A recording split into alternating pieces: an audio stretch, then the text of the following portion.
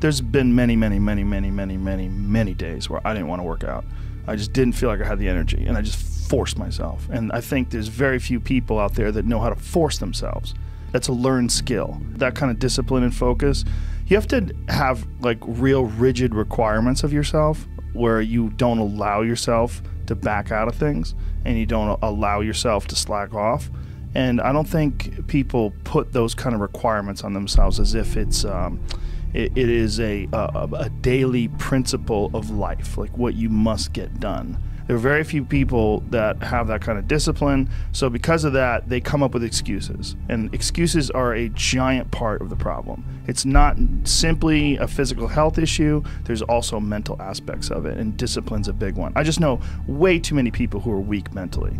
And I, I, I can't I can't just chalk it off to only, you know, their physical the, the way they physically feel because I felt like shit a hundred times and then I worked out and then I felt way better it's just a fact of life. That's real.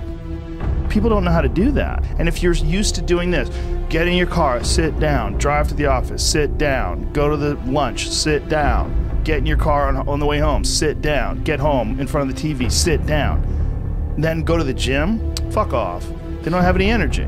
And I don't believe that. I don't believe that. I think it's it's a lot of it is the the mindset. It's like I'm sure a lot of it is diet, and a lot of that diet affects their physical health. But there's been many many people that have just put their foot down and said enough.